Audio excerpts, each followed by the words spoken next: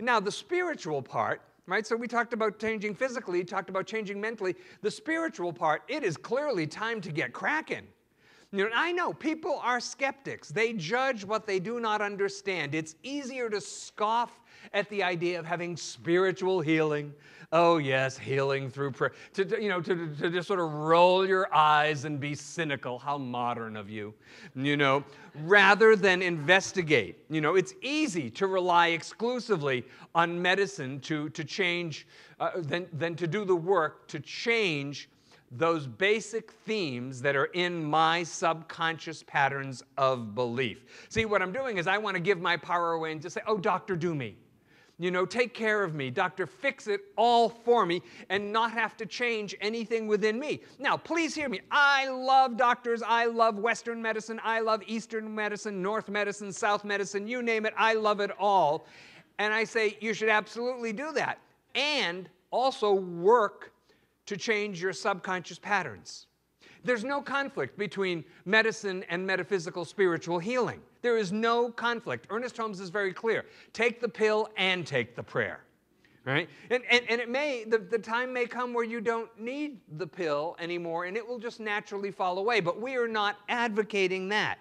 That's an individual thing.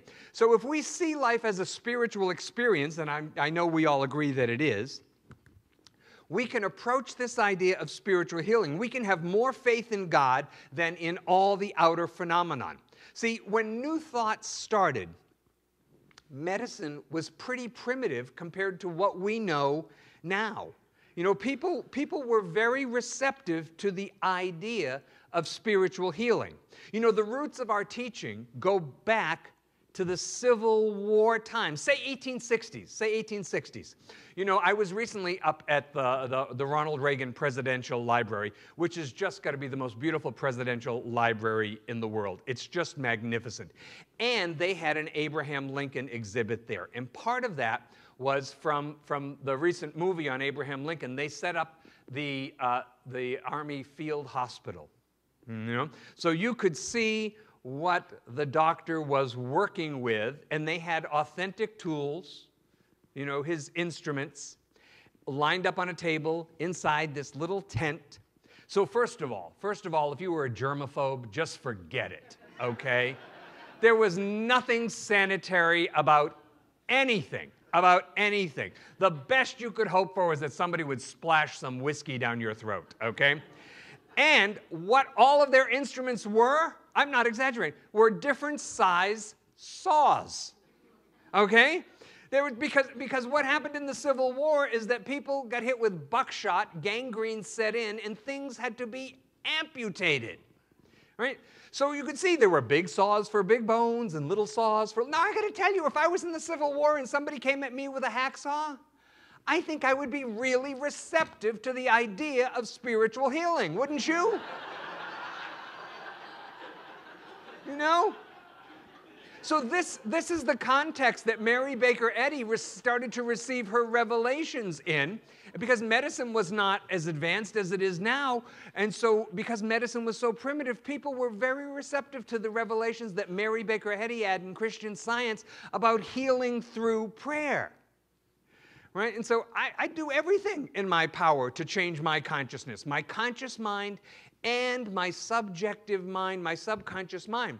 So, so let's start with God is my perfect health. God is my perfect health. That's one of those things we should be saying to ourselves all the time. All the time. Thank you, God, for a new day. God is my perfect health.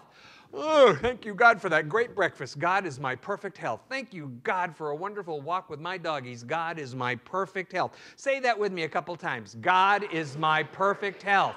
God is my perfect health. Now, Ernest Holmes in the Science of Mind textbook says that you can have what you become in consciousness. And so this is why I like to say it like this I am the consciousness of perfect health. I am the consciousness of perfect health. Say it with me. I am the consciousness of perfect health. Again, I am the consciousness of perfect health. Thank you. So when we all uh, uh, know, you know, you know, when, when everything is well in our life, in our body, in our affairs, we have to praise our health. See, people don't want to think about their health until there's a problem with it, right?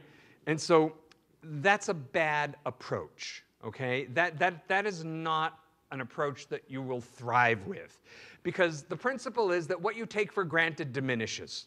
And if you take your health for granted, it will diminish. So if you have radiant good health or you have what seems like a minimum of health right now today, you want to praise what you have. Why? Because what you're grateful for increases.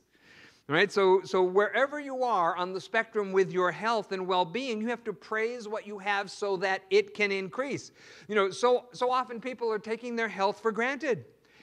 Look, spiritually, health is normal. Sickness is abnormal. You know, to sickness we give lots of attention though. Yet we, yet it's, it's funny to me how people seem to ignore their health for a really long time. That's backwards, right? Why? Because what you focus on increases.